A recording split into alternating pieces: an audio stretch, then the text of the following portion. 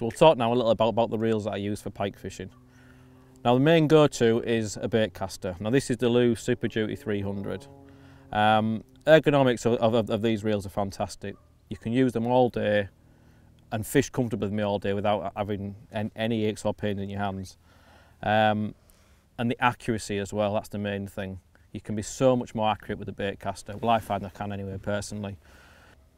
The gear ratio on a bait caster is a lot higher as well, or generally than fixed spools. Now this is very important if you're retrieving heavy lures all day.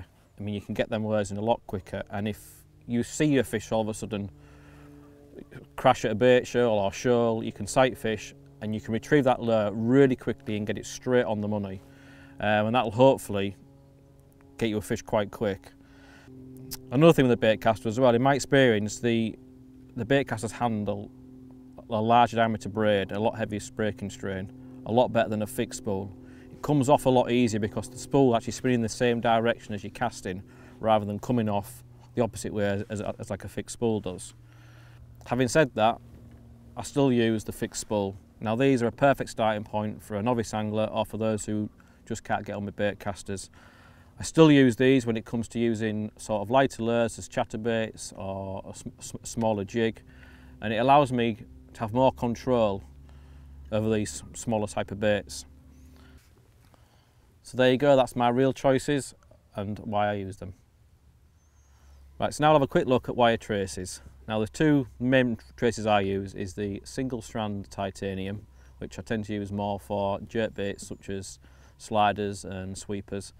Um, and the other one for a more supple trace is the seven strand titanium.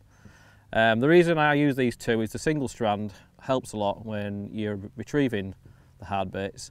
Um, what tends to happen is your lure will want to sweep past the clip um, but by having the stiff, stiff strand titanium, this then pushes the trace a lot, a lot further forward, hopefully preventing any more tangles.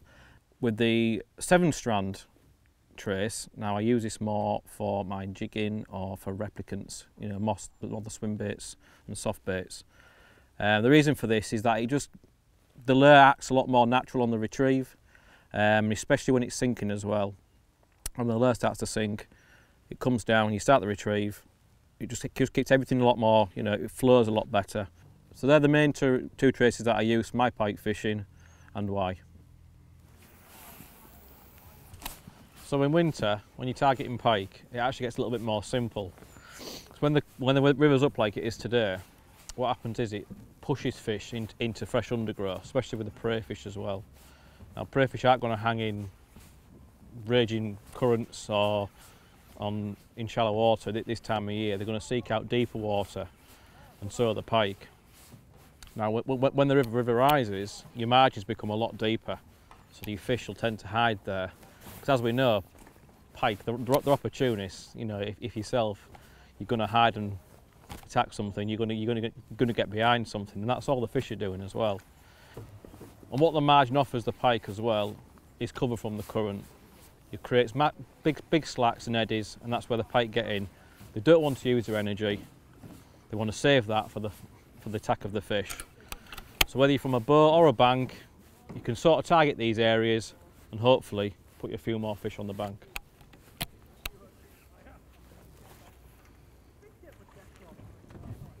One of the most important aspects of pike fishing is knowing what depth you are on a river. Now, prime example is behind me we've got 18 feet of water and not so far up there we've got 9 feet of water. Now the main go-to lure for me on a, on a river with depths like this is a wobble replicant. Now the reason for this is that you can count your lure down, you can almost work out your depth as well with a replicant, counting it down. Um, but behind me here is 18 feet, we've just had a fish and we caught that over in 2 feet of water. So it just shows that to have a variety of lures and try different depths throughout the day will help you catch a lot more fish. Now, if, if I wanted to use the more shallower lures, then I would go for such as like the shallow replicants or the pro shads. These work in a, in a, in a lot slower fashion and you can work them a lot higher in the water without cranking them too fast. Whereas a replicant, if you want to work replicant in a in the shallow water, you've really got to you've really got to work the lure a lot harder than the others. which sometimes when it's quite cold like it is today, the water which is like five degrees, it can put fish off not wanting to chase so much. So the starting point with the river, the most important thing is to know the depth. My starting point is always a replicant wobble because you can count down the depths at roughly 55 gram is like a foot a second. So if I'm casting out, count to 10, it's at the bottom, I know it's roughly, roughly 10 feet. Gradually throughout the day, I can say I want to fish half, half the depth, count to five, work that section, and gradually work my way up to the surface. If I'm getting hits on the surface and I'm thinking it's a bit too fast, then that, that's when I can move over to the shallow replicant or the pro shad, like I said earlier. But as a starting point, these are fantastic to know your depths. So when making lure choices, another thing to think about is the size of the lure, not just the pattern or, or the shape. Now the size of the lure can be, you could drop down, you know, to a sort of a five inch size for the pike or even smaller. If, if they're feeding on the, them, them particular size prey fish, whether, whether it be roach or, or whatever. Um, but another thing to think about is if you've been thrashing your lure all day and not a lot's happened, you know, and you've tried everything, sometimes I find is to put a, a larger lure on. And this can be whether, whether it's a big pro shad or the big pike replicants. And what this what this normally does, it induces um, a take out of aggression rather than attacking for food. Because if you've been thrashing smaller lures around and you're not getting nothing, the chances are they're not feeding. There's not a lot you can do about it. But if you're putting a larger lure across a pike's face and it feels threatened because it thinks it's another, another pike or you know, a larger species, then they quite often attack that lure out of aggression and obviously thus catching the pike. So just that, that little tip could just help you from, you know, turn a bad day into a good day really.